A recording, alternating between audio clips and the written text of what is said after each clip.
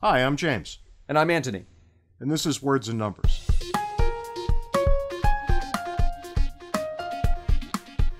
How you doing this week, Ant?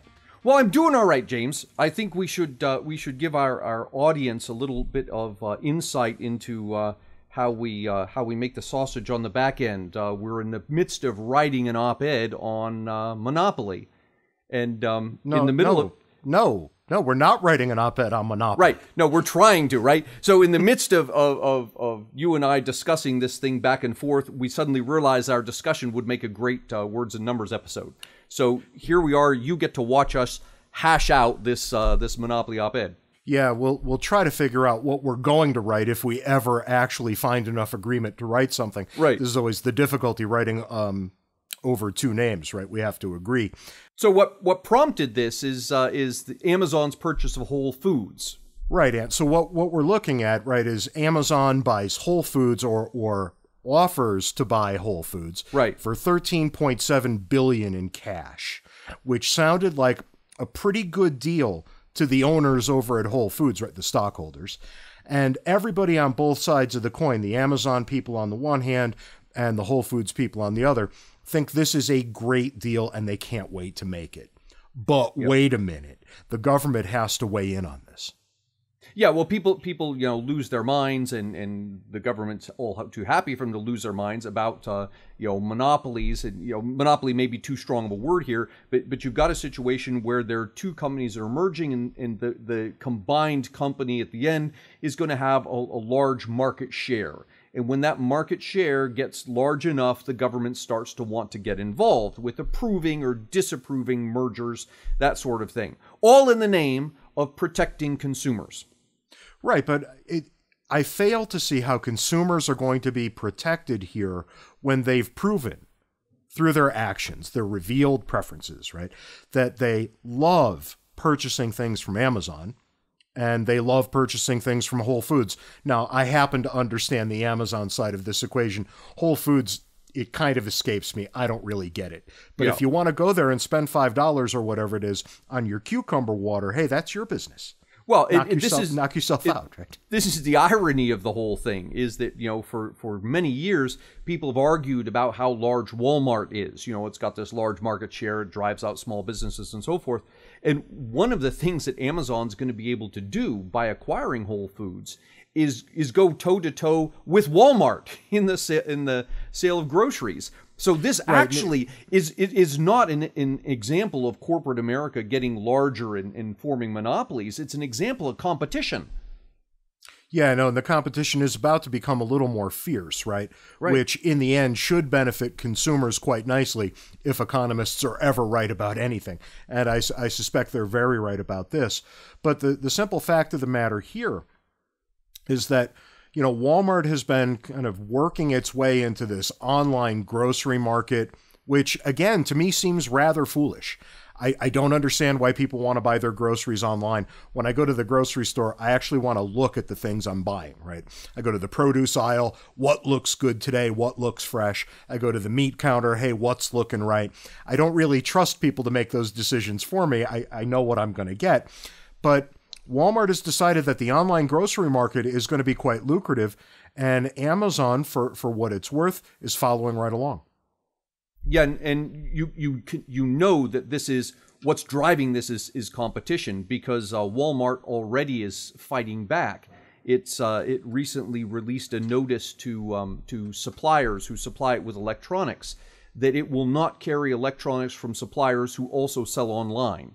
That is, you know, they were not going to say it, but through Amazon. So so you can you can see these two these two large companies going head to head fighting for for market share. And of course the winner in all of this is the rest of us because the way the companies uh, gain market share is by providing um, quality product at, at low price. And and I think this is the thing that people miss about and, and again I'll use the term broadly monopoly right? It, this isn't really a monopoly it's just a company with a very large market share. The thing that people miss is that as companies get larger, if they're getting larger because they're providing a quality product that people want at prices people are willing to pay, That's not a bad thing. It's a good thing. Go ahead and get larger because the larger you are, the more stuff you're providing to people at, at prices they think are fair. Yeah, no, and, and let's be even more basic about it. The larger you get is just more proof that you did your job well. Yes, yeah, exactly right. right. You've done the job well. The customers have rewarded you. And what do we know about companies uh, who the customers reward? They arouse the suspicion of government regulators and bureaucrats, right? Here come the bean counters to right. tell us why this will be harmful to us in the end. And the thing they always miss, and I never quite get this, is as long as the market is open to future and further competition, I think we're already done here, right? So if if if Amazon coupled with Whole Foods somehow comes to dominate the the food delivery industry, which I, I rather doubt is going to happen, right? There are local supermarkets all over the country, and they seem to be doing pretty well on balance. But if Amazon and Whole Foods somehow manage to put all of them out of business, and then here's always the fear that the government regulators want you to be concerned with, they'll sequentially raise their prices when there's no more competition in the market. Well, yeah, yeah. There would there would come a point where if competition isn't precluded somehow, that other companies would rush to fill the void, sensing an opportunity. And as long as that possibility exists, uh, the market chastens the company. Government regulators yep. don't. So yeah, I, what, are, what are we doing th- here? This is this is an important thing to keep in mind because you know even people who even will admit and say, okay, well the company's providing a low pro- a, a good product at low price, and so it grows larger and larger. But here's the thing they worry about: after the company has knocked out all the competition, then it can raise its prices. And and people are missing the the important role of entrepreneurs here the minute a, a, large company tries to now raise its price because it feels it can since it's knocked out its competition, it sends a signal to entrepreneurs everywhere. Figure out how to compete with this guy, right? And sometimes the competition isn't in the same industry, but it's the entrepreneur coming up with some new industry. Good example of this. It's a whole sequence. Um, you start with Western Union which uh, did telegraph, right? And it was the monopoly. It was the only company that handled, you know, coast to coast uh, telegraph back in the days, you know, you know, just after the Pony Express. And and what happens? This is a monopoly, but along comes an upstart entrepreneur who invents telephone, right? And now you've got competition in with with um, telegraph in a completely new industry. And that becomes, you know, a very large firm, and then you have uh, you have cellular service coming along as a whole new industry to compete with that, and then you have voice. Right now, we're talking on Skype What's it? What are they? What's Skype charging you for this phone call across country, James? Yeah, zero. It's not, it it's charges nothing. It's uh, it's it's right. wrapped into that monstrous Comcast bill I pay every month. Boy, you want to talk about monopolies? Let's talk about local monopolies. Right, but, but Comcast is right, right, right. But yeah. I digress. But, but what's go, but um, what's going on here is is entrepreneurs see an opportunity to to compete with someone who's charging at, at a very high price, and what do they do? Is they compete, they knock this price down, they provide us with better products. So in that sense, even a monopoly that knocks out its competition, raises its price, in the long run is actually good for society because it's giving entrepreneurs tremendous incentive to make our lives better. Right. And it's really not about the market share, it's about the ability of other firms to come into the market and compete later. So really Yes, yes, yes. You know, the the, the thing that just drives me crazy is when a deal like this is announced, the very I mean, you can almost set your watch by it. It's gonna it's so clear that it's gonna happen, right? A day after the deal is announced, the nanny state springs into action right? And the right. kind of the default position is, well, we got to take a look at this. Well, why? Because the shareholders at Amazon and the shareholders at Whole Foods, they already took a look at it and they agree that this deal is good for them. Yep. Now we'll see. Yeah. Now, after the deal gets made, then we'll see if it's good for the rest of us. And it's somehow, if it's somehow destructive, then and only then should the government get involved. Right? Yeah, it shouldn't and, be and the, good... the knee jerk reaction. It shouldn't be the first thing we do. It should be the last resort. A, a good example of that, this is, and this goes back a couple of decades, is when uh, AOL, America Online, uh, took uh, bought out uh, Time Warner. Um, you, you, know, and, and, it made you know the, the government weighed in because this was a big purchase and so forth. And subsequently, the the combination of those two companies did not provide better value to customers. And and so what happened? Consequently, you know, fast forward a couple of years, and AOL Time Warner uh, break off again in, into separate pieces because the customer, not the government, but the customer said, whatever it is you're doing is not providing me better value than I had before. Therefore, I'm not going to buy from you. Yeah, no, and, and customers have this habit of punishing companies who that don't do a particularly good job of satisfying their needs, wants, and desires. Right? They have this right. beautiful way, and and all it requires is that they not spend their money there. Nice and simple, yeah. right? Everybody just follows their own self interest, and before you know it, the market sorts these things out pretty quickly you know, people will point to things like Walmart and say, well, here's the problem with Walmart. It comes in and, and it, you know, offers low prices, better selection. It shuts down all the competition. It shuts down the mom and pop shops. And I, I think it's worth underlining here, Walmart has never, ever shut down even one mom and pop shop. It's the customers, it's you and I who shut down the mom and pop shops by deciding yeah, no that, That's exactly that right. Walmart actually is providing us so much better value, we would rather shop there. It's the customer that shut down the mom and pop shops. Yeah, no, that that's right. And I know it's very fashionable to make fun of Walmart, but I probably go to a, mall, a Walmart once a week or so, which is quite notable given that I only go out of the house twice a week or so. So half of right. the times I leave the house, I head over to the Walmart.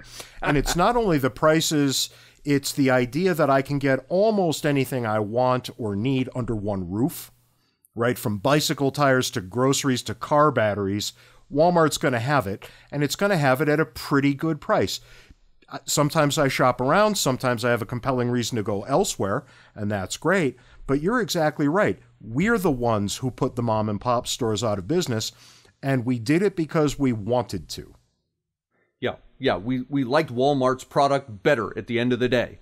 You know, you, you could be right. nostalgic for the mom and pop shops, but where the rubber hits the road, you're not will or most people aren't willing to actually pay the top dollar to keep those, you know, keep that nostalgia alive. They'd rather have or, the cheaper products.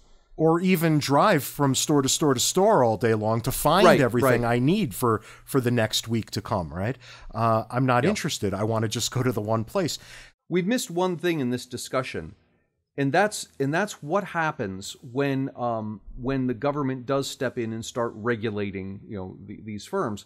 And one of the things that happens that people need to be very aware of is that when the government sets itself up as, as an arbiter, as a regulator, deciding whether companies can merge or you know what prices they could charge in an extreme case, or you know, these sorts of things, what happens is that it, it's a siren call to, to, to, the, to the large corporations that there's a new way to make money. Rather than simply satisfying customers and inviting customers to, to give you their money in exchange for your product, there's now this new way, which is you, you can turn to the regulators and ask for regulation in the name of cons- you know, protecting consumers that actually keeps your competition out. And that's the major problem with asking government to regulate businesses like this. Um, businesses which are bigger than, uh, than we are, the customers, will pick up these regulators and start using them to their own advantage. Right. And it's not just, it's not even satisfying regulators, right? It's manipulating them. Um, yeah. Well, yeah. And, and an interesting thing is, I mean, think about these regulators, right? They're, they're, they're politicians, they're bureaucrats, they're not industry experts who would they turn to to write complex regulations that complex laws that regulate uh, industries? Well they would turn to the experts in the industries. And who are those? The corporations who are already there. Right right. And we've just described how industry insiders come to write the regulations that keep industry outsiders from getting into industry which is curious because earlier we said the problem with monopoly isn't the market share it's precluding the competition. Right. And that's exactly yeah. what we end up finding when we get down to the end of the road of the regulatory state. Isn't that something? Yeah, I, I think ge- generally that's right. You know, the market is not is not perfect. It, you know, people are going to make errors, but generally speaking, when you let people make decisions for themselves and it's their own money that's on the line, uh, you get better outcomes than if you try and tell them what they may and may not do. And that's all we have time for this week on Words and Numbers. Check us out next Wednesday. We'll be up at about noon, as always, Eastern Time. Until then, check out the great content at fee.org and at fee online on social media.